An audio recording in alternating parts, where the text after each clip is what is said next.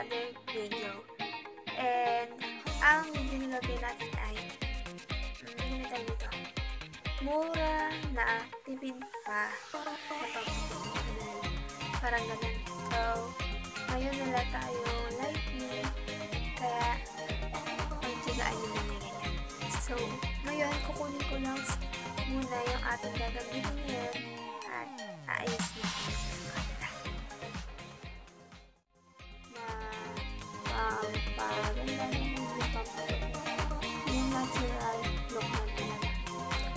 kasi, hindi ako naglalagay. Pag kasi masyadong naglalagay tayo ng kung ano, ano sa mukha natin, masyadong chemical, yung iba, nagiging cause sobrang ating mga tibia.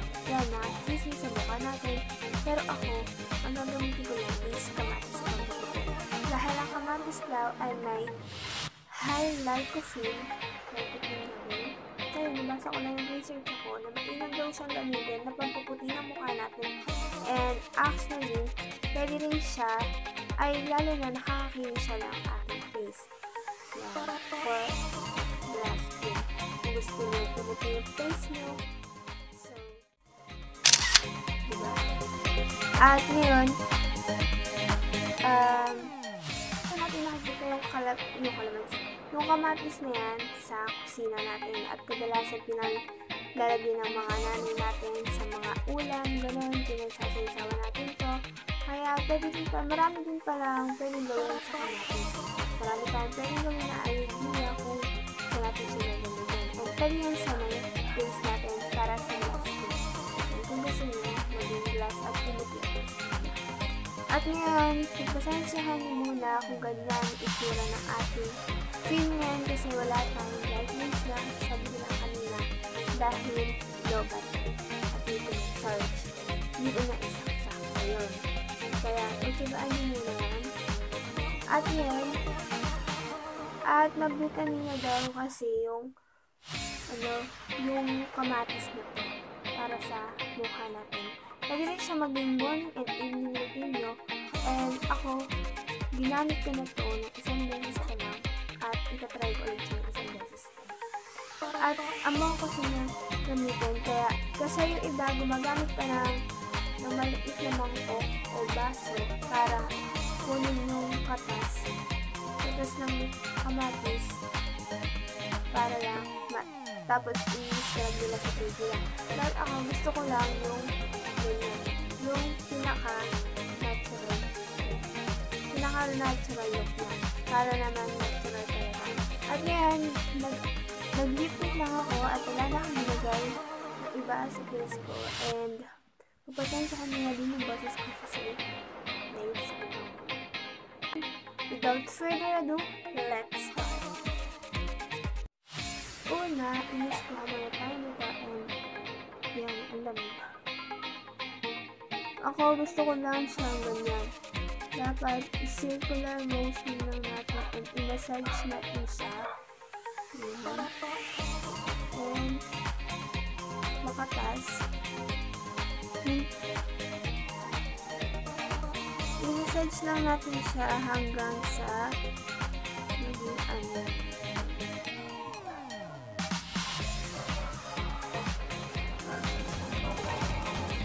At lang natin yung, yung kamatis nito, lalo na kung meron kayo sa. Ano siya. And also, maganda tayo sa ating water. Anti-aging. Hanggang massage siya lang siya kasi lang mo sa loob. Kaya hindi lang siya magkakabay yan. Hintayin natin siya. Wait natin sa 20 minutes or 15 minutes para matulog. At hindi ko kakailangan din ng marami. Marami sa gagamitin dahil for only one dose na talagang okay akin. At ang bang-bang na gamitin. At i-massage nyo lang siya ng pagandang. Massage, massage. Bago pala kayo gumamit ito, siguro yung naglinis ako matis.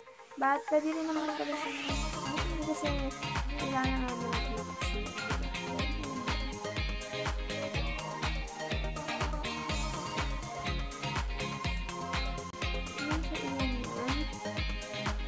yan. Nakakakainis siya ng cuties, diba? Sabi ng iba. kamatis ang nakakabilis ng kutis.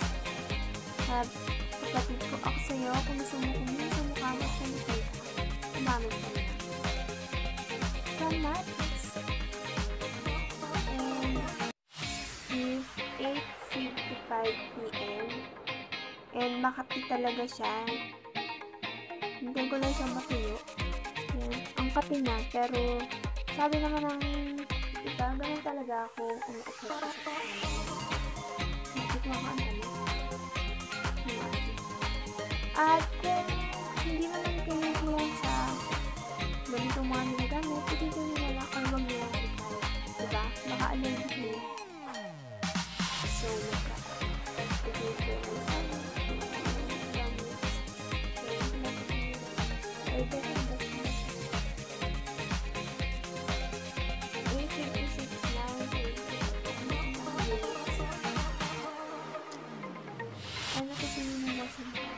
Makapit talaga, pero ganun. Kailangan natin tiisin kung gusto natin pumutin yung mukha natin at maging Try din natin siya ng 7 days. 7 days, 7 days. So, effective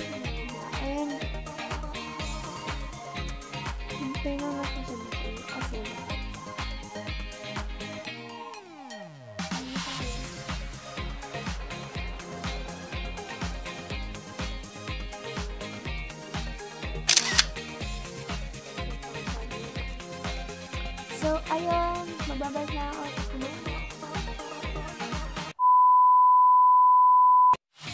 Yun na siya and nandito sa akin na ay, ayan, medyo basa-basa lang siya pero okay na kasi marami na lang ako nilagay and ito yung nasa face ko. Ayan.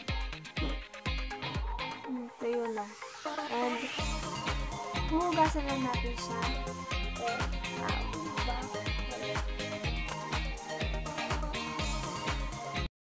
Hugasan na natin ang ating peslak.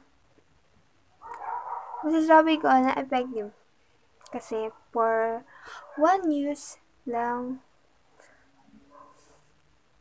ang lambot na talaga ng face natin. And ang kinis niya talaga. Nakakakinis talaga ng ating face ang kamatis. Kaya itry niyo na. Ayan ang ma-recommend ko sa inyo. Pero kung hindi naman kayo hiyang doon, so huwag niyo na gamitin this. Baka kasi magkatiyat kayo, diba?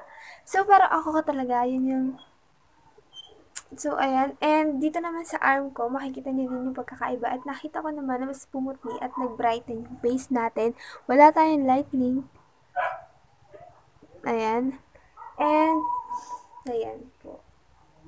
Diba? Mas naging bright before and after. Ayan. Makikita niyo na may pagkakaiba. So, hindi niya makikita man. Hindi naman ano, pero mas nag-bright tong isa na to talaga para sa akin and effective siya. So, mga kapatid, kung nagustuhan niyo yung video ko na to, so don't forget to like, like, share, comment, and subscribe to my channel para updated kayo sa susunod kong video. And for videos, please hit the bell button beside and beside beside para ma-notified kayo sa next video ko. So, thank you for watching! Hold up.